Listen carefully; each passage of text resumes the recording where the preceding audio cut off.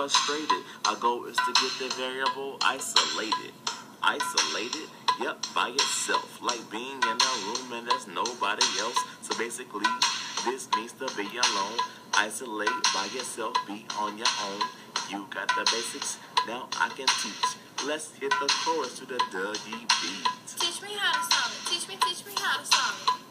Teach me how to solve it. Teach me, teach me how to solve it. Everybody learning, er, everybody learning, everybody learning now. Teach me how to solve it. Teach me how to solve it. Teach me, teach me how to solve it. Teach me how to solve it. Teach me, teach me how to solve it. Everybody learning, everybody learning, everybody learning now. Teach me how to solve it. Before you solve. Alright, so if you can hear, today we're going to learn how to solve it. So let's do some solving of equations. So our vocabulary, uh, first word, an equation is a statement that two expressions are equal. So they include what sign, guys? An equal sign.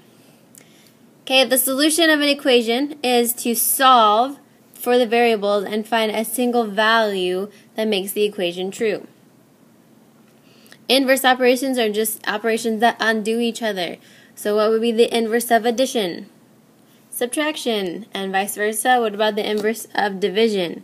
Multiplication. An equation that's true for every value. That means you could put in any value and it'll always be true. That's called an identity.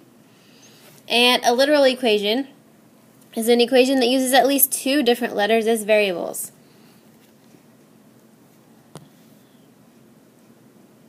So here's some properties. Don't worry about writing these down, but you can just look at them. We have the reflexive property, um, which means a number is equal to itself. Symmetric means um, they're equal either way. The transitive property says that if one is equal to the other, uh, a different one, then you know they're equal to each other. Substitution says you can put them in. Um, I'm pretty sure you all know how to add and subtract, multiply, and divide. So there you go. So, we're going to start by solving one-step equations. So what's the solution of x plus 4 equals negative 12? Well, what's our goal here? What are we trying to find? We're trying to find this value of x. Okay, so if I have x and I add 4 to it equals negative 12, what do I do to get x by itself? Well, I have to get rid of this neg or this 4, obviously. So if I subtract 4 from both sides, that leaves me with x over here. And negative 12 minus 4 more is negative 16. Okay? And then we can go ahead and check, make sure we got the right answer. We take that negative 16 and we plug it in here for x. So negative 16 plus 4 equals negative 12. We just have to decide, is this true? Well, negative 16 plus positive 4 makes negative 12. And does negative 12 equal negative 12? It sure does.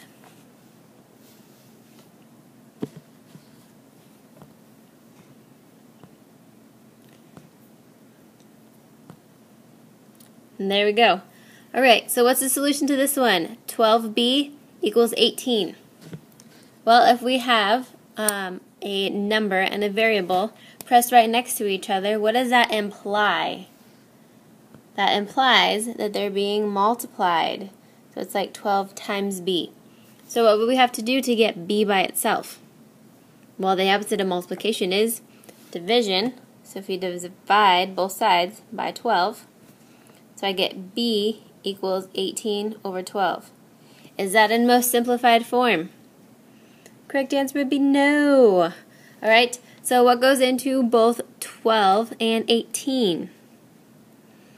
Your answer should be 3. Okay, so if we divide both the top and the bottom by 3, 18 divided by 3 is 9. No, wait, no it's not. Shh, pretend I didn't say that. It's 6. And 12 divided by 3 is 4. Oh, that means there was a bigger one. Does that mean they're both divisible by 6? It sure is. That's okay. We learn new things.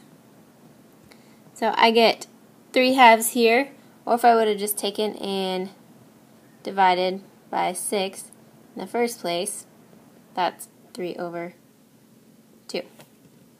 That's a 2. Okay? So sometimes if you don't see the biggest one right away, that's okay.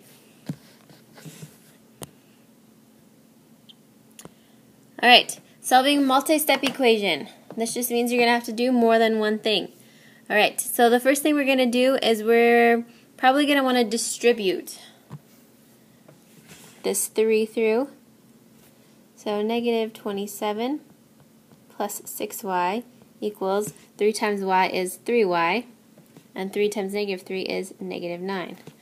Alright, now we need to move all of the y's to one side of the equation and all the numbers to the other side.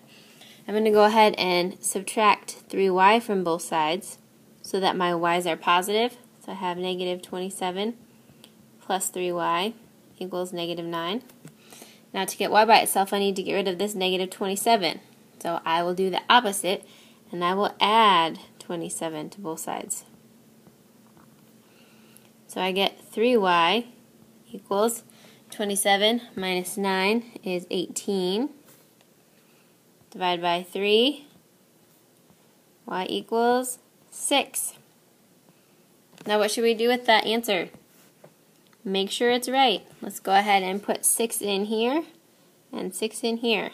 So negative 27 plus 6 times 6 equals 3 times 6 minus 3.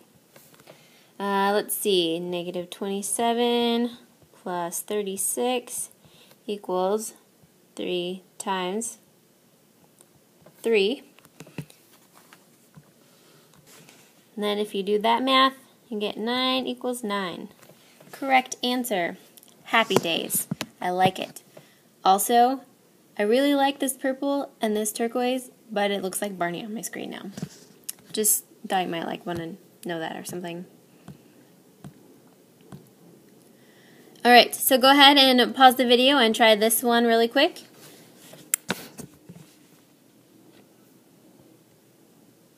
Oops. Sorry, I forgot to hit the edit mode. There we go.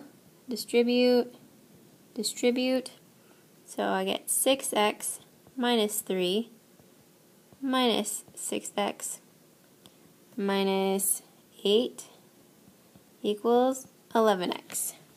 If I combine like terms on the same side, I have 6x and negative 6x. Those are going to cancel. And I have negative 3 minus 8 more. That's negative 11 equals 11x. Get x by itself, divide by 11, divide by 11. x equals negative 1. Hopefully you got that.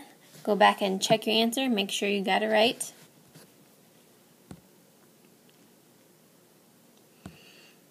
Alright, so let's try solving a problem. Have you ever heard of flower carpets? They're really beautiful, and they put them in um, like places in Europe. They have this big like flower festival. It's really cool. So they use hundreds of thousands of flowers um, and grass and tree bark and fountains and different kinds of forms to make uh, these intricate designs. So the Grand Palace is in Brussels, Belgium. It has a perimeter of 200 meters. So we need to find what are the dimensions of the flower carpet. So here, I have a picture for you. So that's what it looks like. That um, That's at the Brussels, Belgium Grand Palace. And if you see here, it says that this distance right here is a distance of x, and this distance right here is a distance of 3x.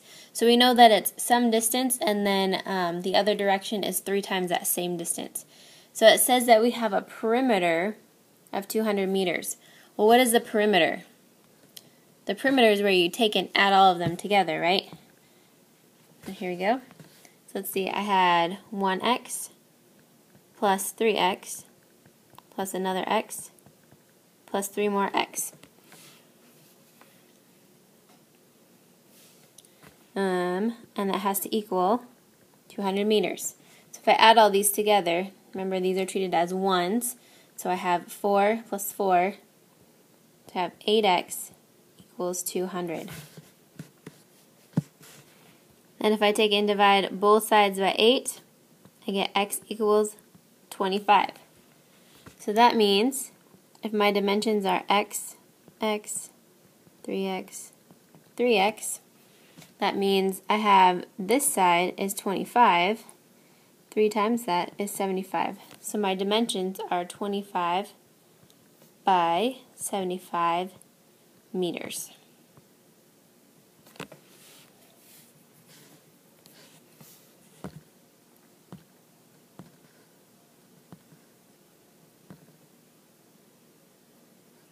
Okay, I want you to go ahead and try this one. Uh, suppose a flower carpet had a perimeter of 320 meters instead of the 200. What are the new dimensions? Well, hopefully you did your math right, and you got that we have 40 by 120 meters. And that's all I got for you today. I hope you have fun solving equations because, you know, I'm sure you've never done it before. Have a good day, guys.